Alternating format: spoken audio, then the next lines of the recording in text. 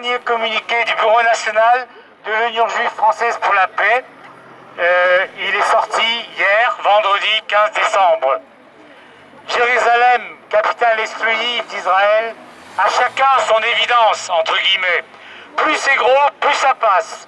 La reconnaissance unilatérale de Jérusalem comme capitale exclusive d'Israël par l'administration Trump relèverait du bon sens.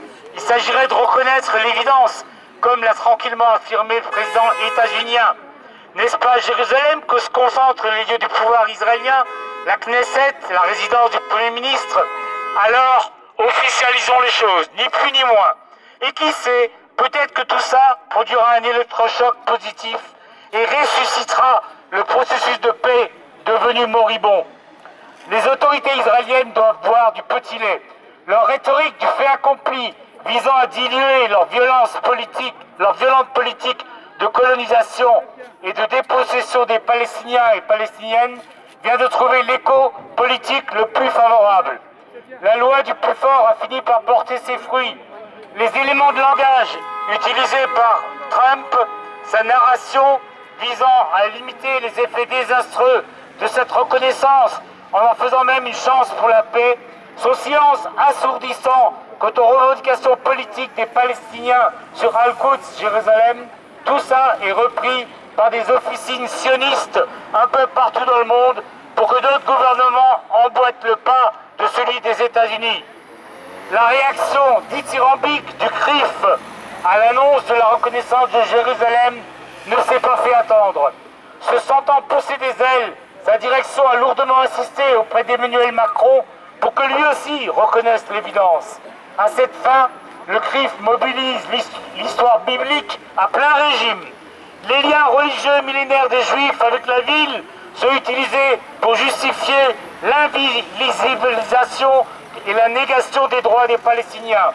Même son de cloche du côté du consistoire qui a salué, entre guillemets, la reconnaissance d'une vérité historique et du lien plurimillénaire du peuple juif avec la ville sainte. Les offensives diplomatiques palestiniennes visant à faire valoir le droit politique sur la ville sont pour eux autant de menaces qu'il convient de neutraliser, dit M. Khalifat, l'inénarrable président du CRIF. Les habitants et les habitants palestiniens de Jérusalem, ceux qui ont pu rester après les vagues d'expulsion de 1948 et 67 et qui sont la cible depuis des années de politique et de réglementation discriminatoire, sont les grands absents de la nouvelle séquence politique amorcée par la reconnaissance états-unienne. Que va-t-il advenir de ces résidents palestiniens sans aucun droit politique dans la ville annexée et dont l'annexion vient de regagner en légitimité?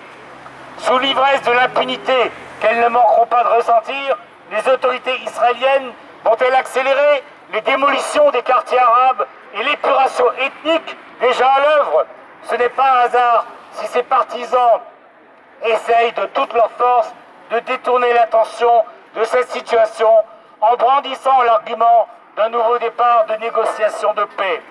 L'argument est périlleux, tant il découline de mauvaise foi. Le statu quo sur Jérusalem n'a pas permis d'obtenir la paix.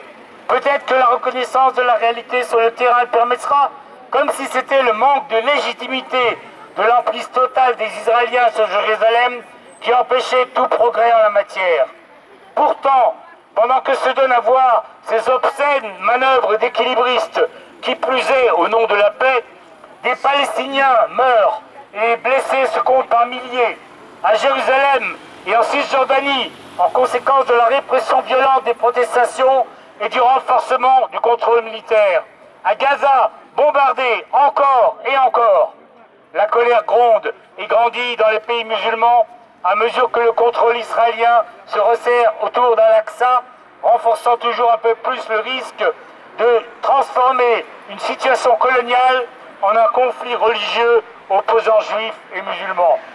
Tout cela était prévisible. Il ne pouvait en être autrement. Donald Trump, Netanyahou, leurs alliés du CRIF, tous le savent pertinemment et ils s'en moquent éperdument. Derrière ces éléments de langage pernicieux et narration mensongère,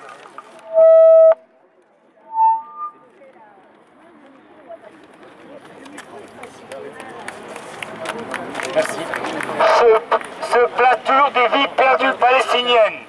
Et que font les dirigeants européens à part rappeler solennellement leur attachement à une solution négociée et appeler Netanyahou à la retenue, à faire un geste pour la paix en gelant la colonisation? Je parle. Rien. Ou plutôt, si il cautionne une fois encore, aucune sanction n'est à l'ordre du jour. Une paix juste ne sera jamais atteinte par le maintien du régime d'apartheid, ni par l'écrasement mémoriel des Palestiniens et des Palestiniennes. L'Union juive française pour la paix condamne les falsificateurs d'histoire et les pompiers pyromanes. Il est temps de leur rappeler qu'ils ont du sang sur les mains, eux et ceux qui ne font que regretter. Merci.